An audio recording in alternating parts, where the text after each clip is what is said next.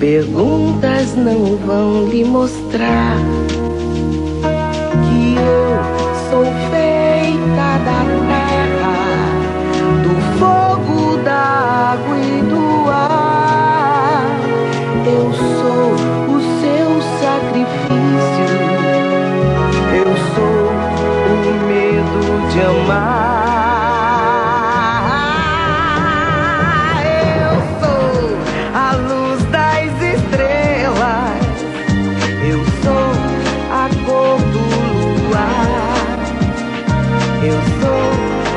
Coisas da vida,